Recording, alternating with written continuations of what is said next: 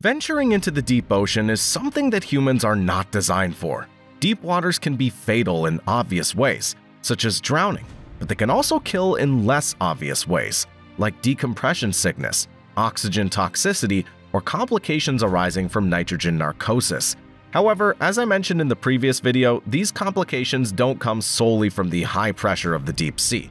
They all arise from breathing pressurized air. This is why the deepest recorded scuba dive is only 332 meters, which took 12 minutes to reach and 15 hours to return from. The deepest saturation dive was 701 meters, the maximum depth the humans ever reached outside of a submersible. Diving deeper with current technology becomes excessively dangerous. For reference, many offshore oil fields are located at much greater depths than this, all of which require constant maintenance. The Perdido oil field lies nearly 2,450 meters deep, and the oil rigs there are the deepest in the world. Remotely operated vehicles must be used for the deepest work, which is not without its disadvantages.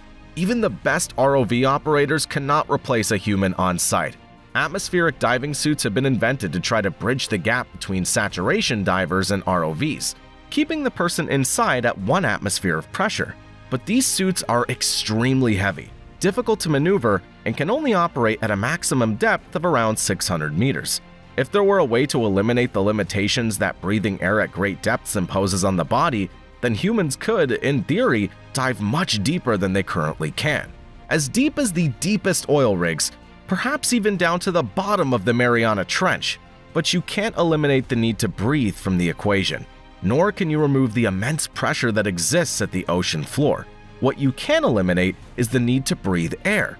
If humans could breathe liquid instead of air, many of the problems that deep sea divers face could be completely eliminated.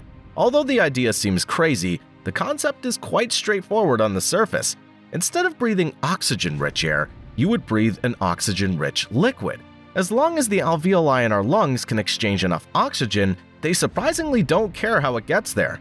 Since liquids can't be compressed in the same way that gases can, as the diver descends with their lungs full of liquid, they won't be exposed to the huge partial pressure changes that occur when the lungs are filled with gas. As I mentioned in the previous video, when breathing normal air under pressure, each breath taken contains many more molecules of oxygen and nitrogen than a breath taken at the surface due to the increased pressure.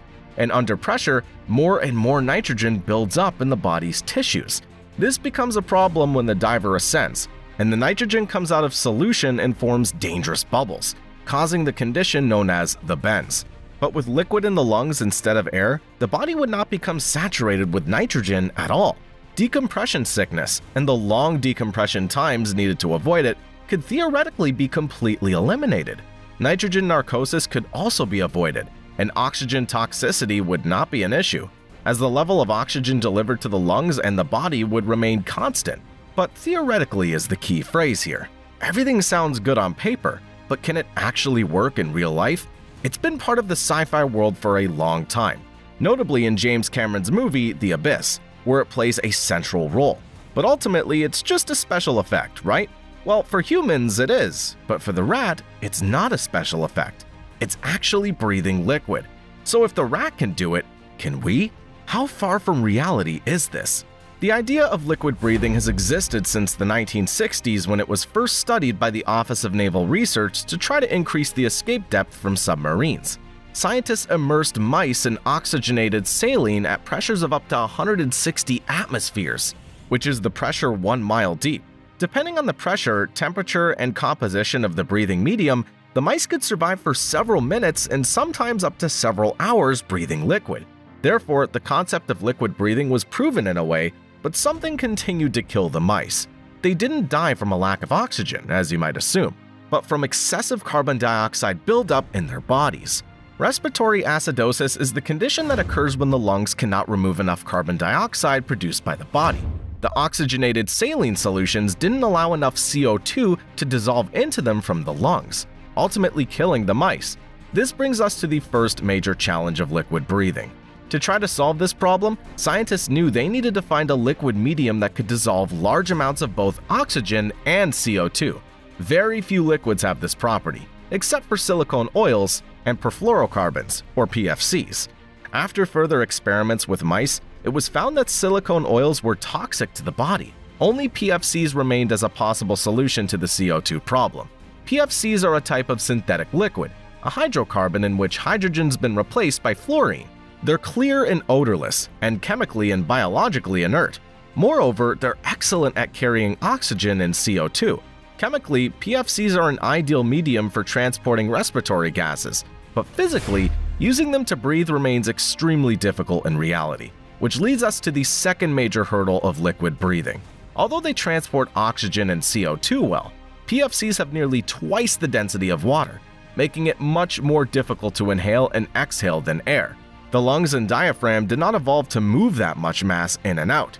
The average lung capacity of a man is 6 liters, and the average density of PFCs is 1.9 grams per milliliter, meaning the diaphragm would need to move around 12 kilograms of mass per liter. So, while the PFC medium can dissolve a large amount of oxygen and CO2, moving enough liquid in and out to meet the body's needs becomes nearly impossible. The buildup of CO2 would still pose a dangerous problem, especially under any kind of exertion. But determined to continue the experiments, the Office of Naval Research decided that the research had progressed to the point of testing it on the first commercial diver. However, while this was an important milestone, this human trial was not a resounding success. Lying on an operating table, the diver inhaled well oxygenated liquid and was indeed able to breathe. But afterwards, he developed pneumonia because they failed to remove all the liquid from his lungs. This is the third major problem with liquid breathing. Transitioning back to breathing air after having breathed liquid can be problematic or even fatal if all the liquid is not removed. While all these obstacles should be enough to discourage most research, some scientists and innovators are still trying to find a way to make liquid breathing for deep sea diving a reality. One inventor believes he's come up with a plan to make it possible. He proposes using a compressible chest plate that would mechanically force the liquid in and out of the lungs, along with the CO2 scrubbing device.